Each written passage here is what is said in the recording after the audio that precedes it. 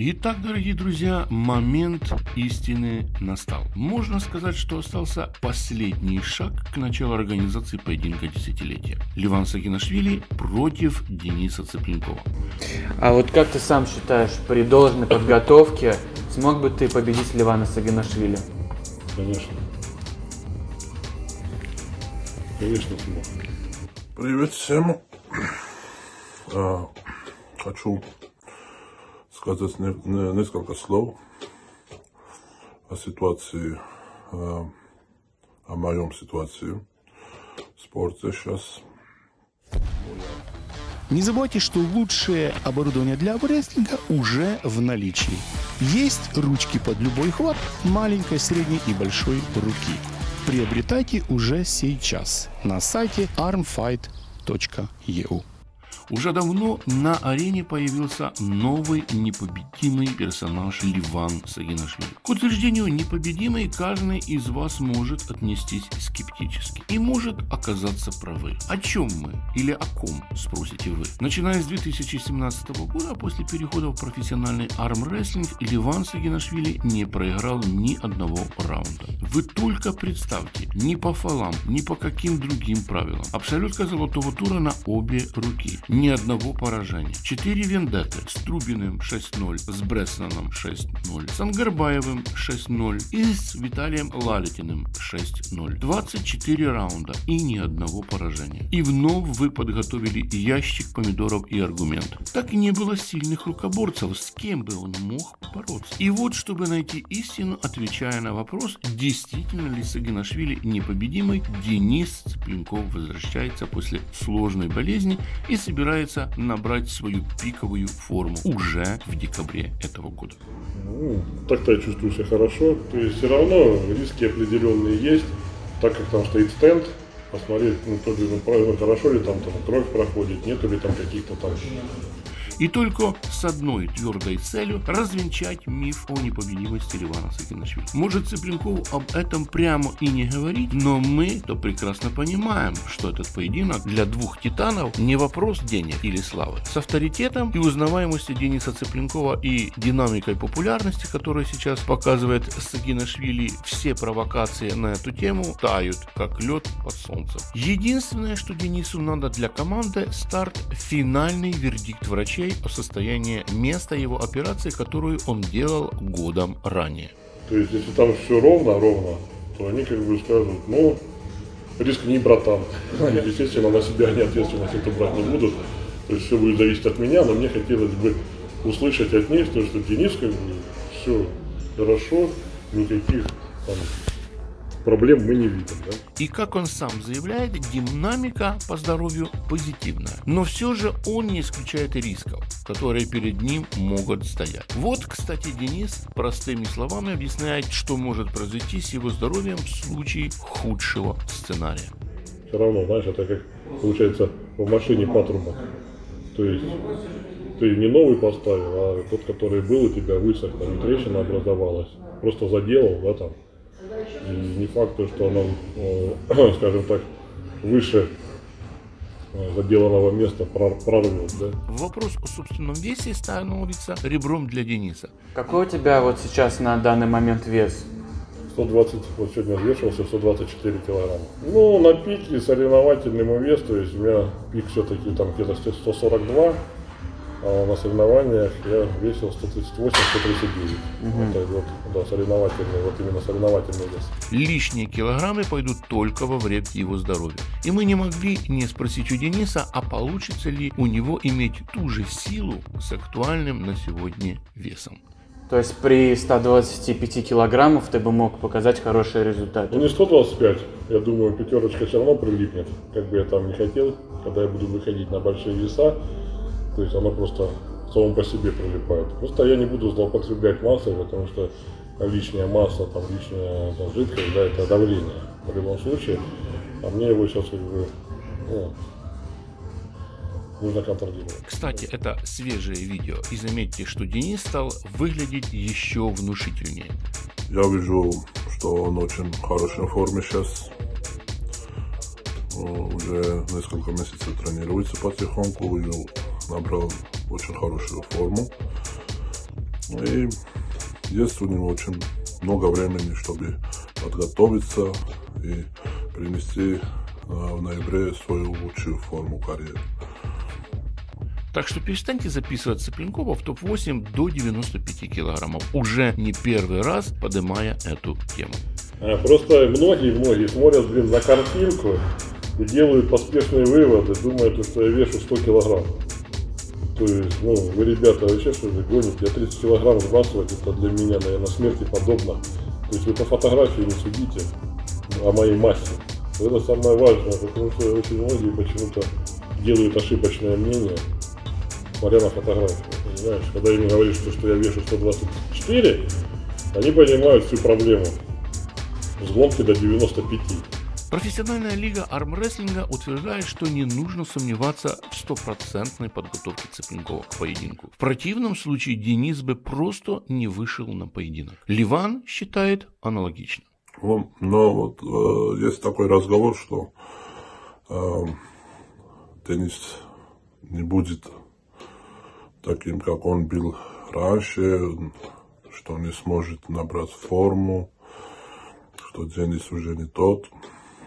Я не согласен, потому что Денис такой человек, если он согласится бороться, он будет, будет в лучшей форме. Я думаю, что такой мотивация, которая сейчас у него есть, такое у него, может быть, было, когда он боролся с Брзенком. Когда Брзенк его победили, он э, готовился на Брзенка, и потом э, на золотом туре он его выиграл. Так что я думаю, что теннис бу- будет так, такой форме, как, как вообще никогда не был. Он будет очень сильным и лучшим в в своем форме. Ливан Сагинашвили очень сильный соперник, и никто не отрицает. Сейчас вы думаете, что фокус его подготовки направлен только на поединок с Цыпленковым. Ливану, как и самому Денису, очень сильно хочется этой встречи. Я знаю, что теннис очень хочет со мной побороться. Еще больше я хочу с ним побороться, чем он со мной. Так что Но у Ливана не одна цель на этот декабрь, и об этом чуть попозже. Уже в июле-июне мы подпишем все соглашения, и дороги назад не будет.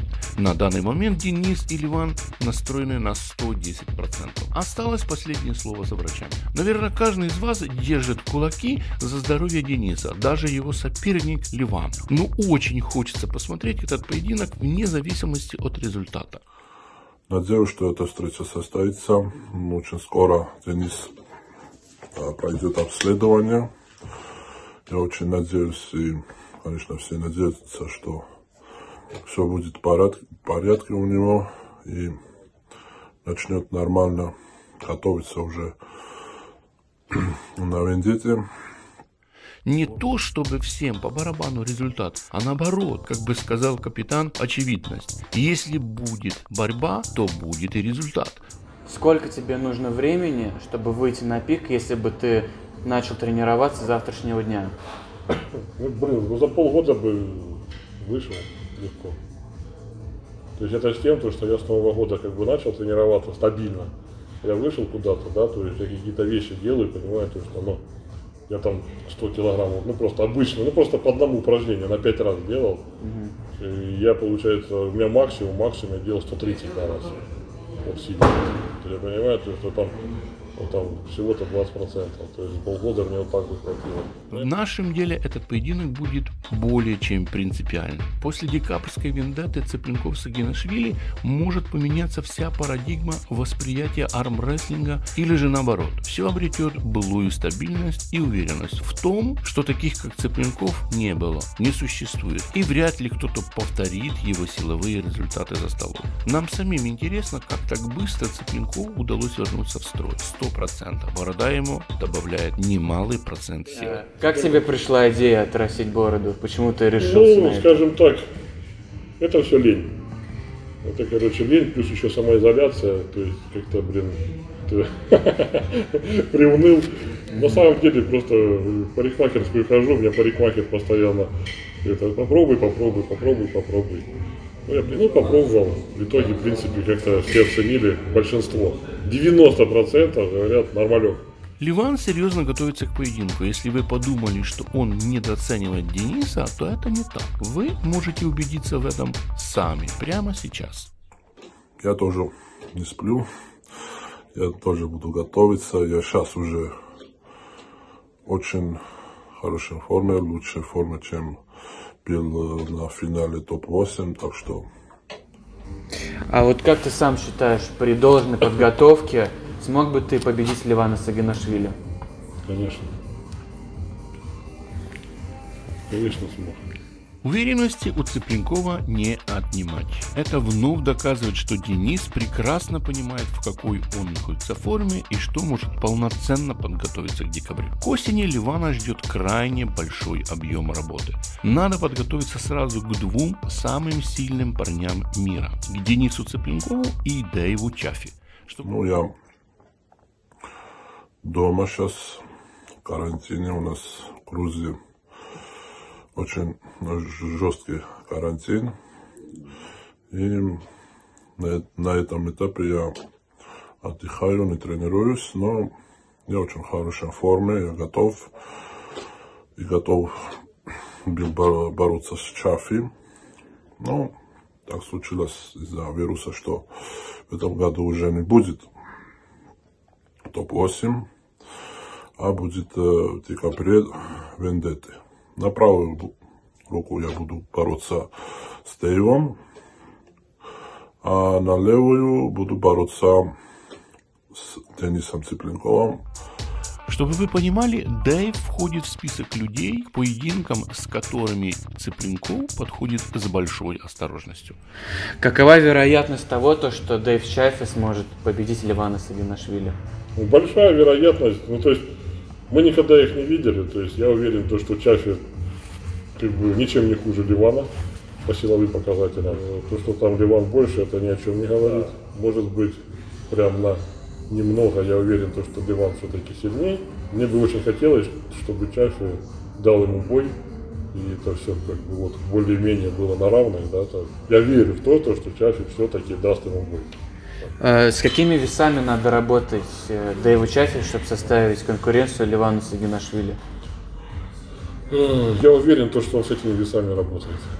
Потому что я помню, как я с ним боролся, какие у меня были показатели, и я понимаю то, что там глыба, да, я понимаю то, что если он эту форму наберет, то будет Ливану непросто. Интересной стала заруба в инстаграме двух соперников финала ТОП-8 2019 Виталия Лалитина и Ливана Сагинашвили. Вы только посмотрите, как они упорно работают со штангой 80 килограмм. Напишите в комментарии, кто работает со штангой эффективнее, Ливан или Виталий.